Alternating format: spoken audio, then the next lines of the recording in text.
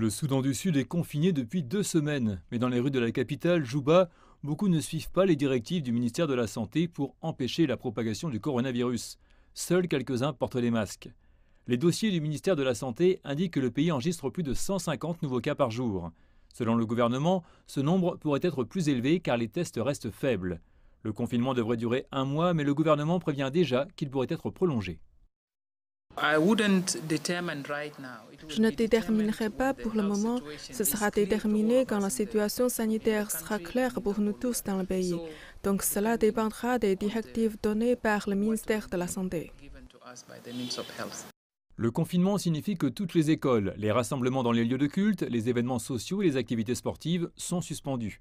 Les réunions du Conseil des ministres du Soudan du Sud sont également interrompues.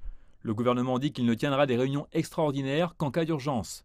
Le nouveau confinement a touché les résidents de la capitale Juba dans tous les secteurs. Le gouvernement doit aider à réduire les prix du carburant parce que maintenant le gouvernement veut que je transporte moins de passagers, ce qui représente la moitié de la capacité de cette voiture. Mais le carburant est cher, les pièces de rechange coûtent cher, je ne gagne pas d'argent et pourtant c'est ma seule source de subsistance. Ce confinement nous affecte vraiment car en termes de transport, les coûts de transport ont vraiment augmenté. La concurrence est rude et les affaires sont faibles. Les choses ne vont pas bien.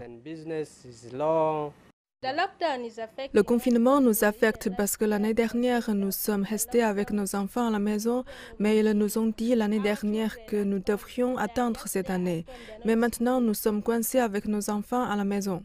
Le gouvernement déclare que les gens peuvent toujours voyager à l'intérieur et à l'extérieur du pays. Cependant, ils doivent avoir un certificat de test négatif à la Covid-19.